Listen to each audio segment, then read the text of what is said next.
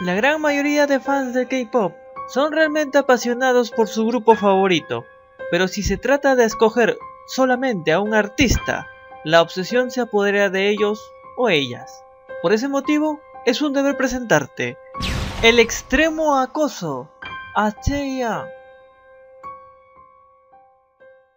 Anteriormente, Taeyang habría sufrido un incidente con su agrupación Gear Generation, esta vez en el escenario. Lamentablemente, este hecho es antiguo. Quizás la mayoría lo conoce. Pero esta vez te traigo algo nuevo, que quizás puede que le pase a otro artista. Luego de realizar con éxito su concierto solista el 9 de julio, Chayanne se presentará de nuevo la noche del 10 de julio.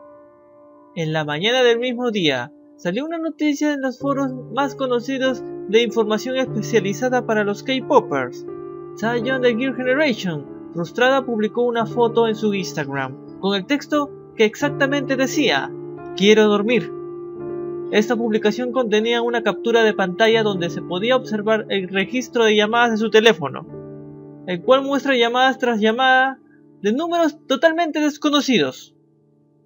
Las primeras llamadas fueron en la madrugada aproximadamente a las 3 y 57 y las otras llamadas fueron a las 6.39 de la mañana. Pero la pregunta más grande sería, ¿quién le daría el número de Taeyang?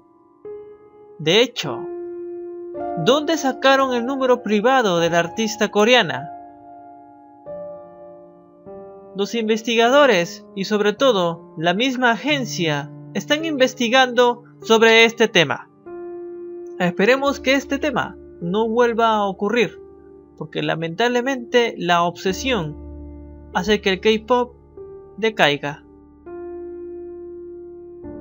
Deja tu opinión en la caja de comentarios.